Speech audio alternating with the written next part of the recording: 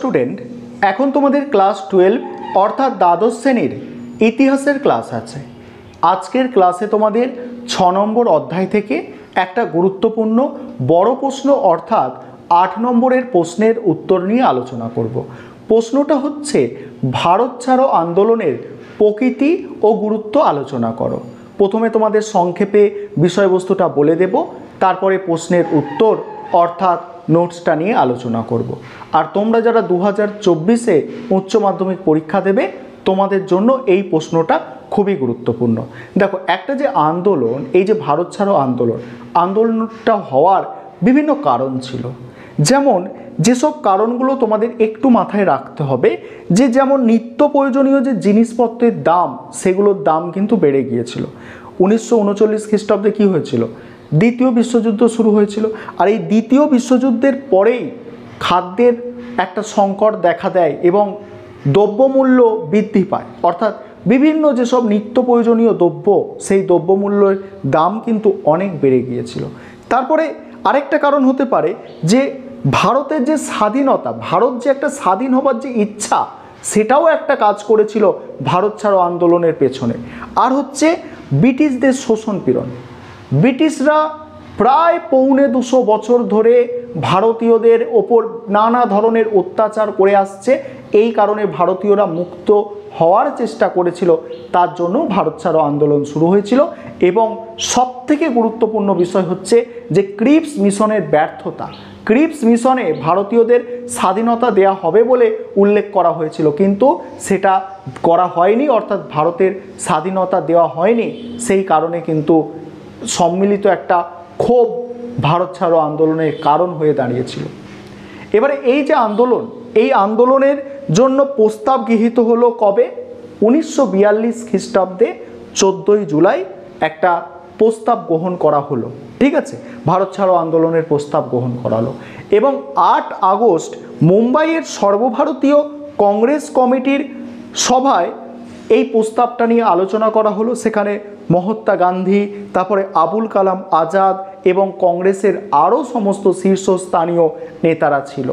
এবং পরের দিনই, ঠিক তার পরের দিনই কিন্তু কংগ্রেসের যেসব মানে উচ্চ ধরনের নেতা, প্রথম সারির নেতা, তারা গ্রেপ্তার হলো। গ্রেপ্তার হতেই এই ভারত ছাড়ো আন্দোলনটা কিন্তু প্রভাব বিস্তার করে গেল।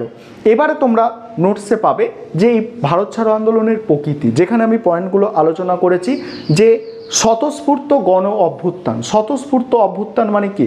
সাধারণভাবে সমস্ত মানুষ এই আন্দোলনটা শুরু করেছিল। তারপরে পয়েন্টে পাবে নির্দিষ্ট কর্মসূচিহীন আন্দোলন। যে এই আন্দোলনের কিন্তু কোনো নির্দিষ্ট একটা কর্মসূচি ছিল, একটা ছক কষে নেওয়া হয়েছিল, তেমন কিন্তু নয়। তারপরের পয়েন্ট পাবে তোমরা অন্যান্য রাজনৈতিক দলের উদাসীনতা। যেমন কংগ্রেস ছাড়া অন্যান্য রাজনৈতিক দল যেমন মুসলিম লীগ, কমিউনিস্ট পার্টি এই আন্দোলনে সেভাবে মানে সামনে এসে দাঁড়ায়নি। তবে এই আন্দোলনের গুরুত্ব ছিল বা ঐতিহাসিক তাৎপর্য ছিল। যেমন সেখানে বলা হচ্ছে সকল শ্রেণির মানুষের যোগদান। অর্থাৎ সমস্ত মানুষ কিন্তু সমস্ত শ্রেণির মানুষ। সে শিক্ষক হোক, কামার হোক, কুমোর হোক, সাধারণ মানুষ হোক, এমনি শ্রমিক হোক, এই আন্দোলনে কিন্তু যোগ দিয়েছিল। তারপরে পয়েন্ট পাবে স্বাধীনতার ভিত্তি প্রস্তুত। অর্থাৎ এই আন্দোলনেই ব্রিটিশ সরকারের যে ভিত, সেটাকে কাঁপিয়ে দিয়েছিল। এবার পরের পয়েন্ট পাবে কংগ্রেসের প্রভাব বৃদ্ধি এবং ক্ষমতা হস্তান্তরের প্রস্তুতি। এবার তোমরা প্রশ্নের উত্তর, অর্থাৎ নোটসটা দেখে নাও। এবারে তোমরা প্রশ্নের উত্তরটা দেখে নাও। প্রশ্নটা আমাদের ছিল, ভারত ছাড়ো আন্দোলনের প্রকৃতি ও গুরুত্ব আলোচনা করো। প্রথমে তোমাদের একটা ইন্ট্রোডাকশান অর্থাৎ ভূমিকা লিখতে হবে। সেখানে কি লিখবে দেখো, ক্রিপস মিশনে ভারতীয়দের পূর্ণ স্বাধীনতার দাবি ব্যর্থ হলে, ক্রিপস মিশনে ভারতীয়দের যে পূর্ণ স্বাধীনতার দাবি, সেটা কিন্তু ব্যর্থ হলো। ব্যর্থ হলে ভারতীয়রা গান্ধীজির নেতৃত্বে উনিশশো বিয়াল্লিশ খ্রিস্টাব্দের চোদ্দোই জুলাই ভারত ছাড়ো আন্দোলনের সিদ্ধান্ত গ্রহণ করে এবং অবশেষে সাতই আগস্ট মুম্বাইয়ের নিখিল ভারত কংগ্রেস কমিটির সভা বসে এবং আটই আগস্টের বৈঠকে ভারত ছাড়ো আন্দোলনের প্রস্তাব গ্রহণ করা হয় এবং নয়ই আগস্ট জাতীয় কংগ্রেস উচ্চ স্তরে নেতাদের গ্রেপ্তার করা হলে, জাতীয় কংগ্রেসের উচ্চস্তরের নেতাদের গ্রেপ্তার করা হয়েছিল নয় আগস্ট। গ্রেপ্তার করা হলে জনগণ স্বতঃস্ফূর্ত ইচ্ছায় আন্দোলন শুরু হয়, জনগণের ইচ্ছায়। এবার বলা হচ্ছে আন্দোলনের প্রকৃতি। সেখানে প্রথম পয়েন্ট কি আছে দেখো? আন্দোলনের প্রকৃতির প্রথম পয়েন্ট আছে দেখো। স্বতঃস্ফূর্ত অভ্যুত্থান। স্বতঃস্ফূর্ত মানে জনগণ নিজেরাই আন্দোলনটা করেছিল।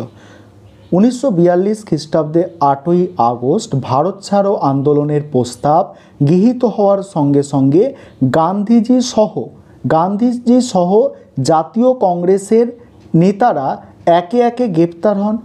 নেতৃত্বের অভাব জনতা অভাবে, জনতা স্বতঃস্ফূর্তভাবে রাজপথে নেমে আসে এবং ব্রিটিশ পুলিশের থানাগুলি আক্রমণ করতে থাকে। তারপর হচ্ছে দেখো, মিশ্র আন্দোলন। সেখানে কি বলা হচ্ছে? গান্ধীজি উনিশশো তিরিশ খ্রিস্টাব্দে আইন অমান্য, আইন অমান্যের মতো একটি অহিংস, একটা অহিংস আন্দোলনের ডাক দিলেও ভারত ছাড়ো আন্দোলন শুরু হয়েছিল আক্রমণাত্মক ও হিংসাত্মক পদ্ধতিতে। তারপরে কি বলা হচ্ছে দেখো? এই পয়েন্টটা তাহলে কী ছিল? পয়েন্টটা ছিল মিশ্র আন্দোলন। তারপরে পয়েন্টটা কী আছে দেখো? নির্দিষ্ট কর্মসূচিহীন আন্দোলন। সেখানে কি বলা হচ্ছে? ভারত ছাড়ো আন্দোলনে নির্দিষ্ট কোনো কর্মসূচি গ্রহণ করা হয়নি। বরং এই আন্দোলনের কর্মসূচি অহিংস গণ আন্দোলন ও সহিংস বিপ্লবের এক মিশ্রণ লক্ষ্য করা যায়। তারপরের পয়েন্ট তারপরের পয়েন্ট কী আছে দেখো? তারপরের পয়েন্ট আছে অন্যান্য রাজনৈতিক দলের উদাসীনতা। সেখানে কি বলা হচ্ছে দেখো? কংগ্রেস ছাড়া অন্য কোনো রাজনৈতিক সংগঠন, যেমন মুসলিম লীগ, কমিউনিস্ট পার্টি, এই আন্দোলনে তেমন আগ্রহ দেখায়নি। ফলে ফলে আগের আন্দোলনগুলির মতো কংগ্রেসের সঙ্গে অন্য কোনো সংগঠনের মত পার্থক্য দেখা দেয়নি। তারপরে আন্দোলনের গুরুত্ব। ভারত ছাড়ো আন্দোলনের যে গুরুত্ব বা ঐতিহাসিক তাৎপর্য, সেখানে এক নম্বর পয়েন্ট হচ্ছে সকল শ্রেণির মানুষের যোগদান। বিয়াল্লিশের আগস্ট আন্দোলন সমগ্র ভারতবর্ষ জুড়ে সকল শ্রেণি, যেমন শিক্ষিত, মধ্যবিত্ত, কৃষক, শ্রমিক, নারী, পুরুষ, ছাত্রছাত্রীদের যোগদানে আন্দোলনটি একটি সম্পূর্ণ গণ আন্দোলনে পরিণত হয়েছিল। তারপরে বলা হচ্ছে, দেখো স্বাধীনতার ভিত্তি প্রস্তুত।